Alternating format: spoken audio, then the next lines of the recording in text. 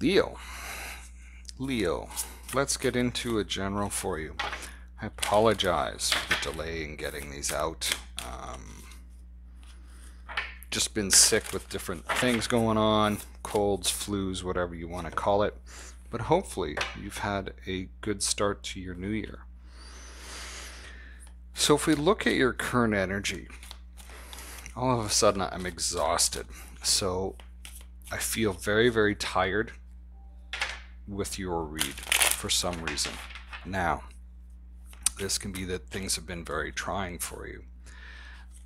It looks like there is somebody that you need to forgive, or maybe you have received forgiveness. This has allowed you to move on.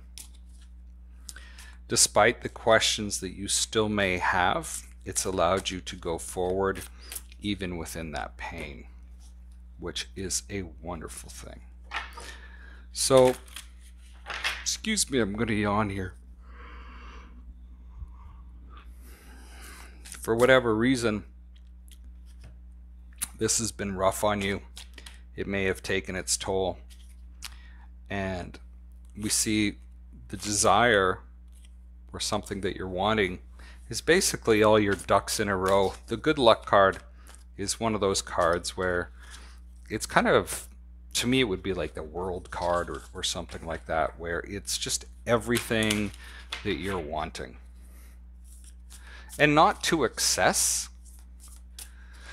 with the hermit here you're trying to figure out how to move forward in this. You're still waiting. It's almost like you you may even be waiting for the other shoe to fall right now that you've got your ass kicked and um, you're waiting for the next part of that. Could be that you're waiting for things to fall into place. Now the outcome is family. So for some of you, this can be that that stable nature of family, whatever family is to you.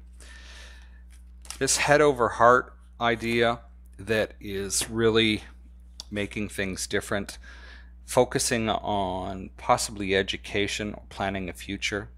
And as you start to make those choices, uh, we get the Eight of Wands, which brings in more messages. What's working for you is that things are changing. There is communication that may change how you feel about something in that it feels very solid. Now, this could be any type of communication, but it seems to be with the Ten of Cups here something with a loved one. Now, the Ten of Swords shows up as what you need to be aware of, followed by the Knight of Pentacles. Now, the Knight of Pentacles has been showing up a lot for signs lately, and this is staying on that path something's ended and you're not sure if this is still the right path for you, especially when it comes to love.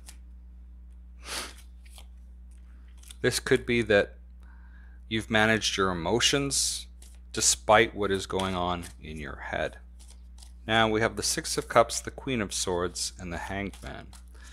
There's somebody from the past that you may be very guarded against, really not wanting to speak to kind of one of those individuals where you're like, yeah, you know what, past is past. But they could be coming around again. This could be you, this could be them. But you're very guarded, and you may need to look at that in a different way in order for things to change. So, Leo, that's what I have for you today. Best of luck this week. We'll see you next time. Stay safe.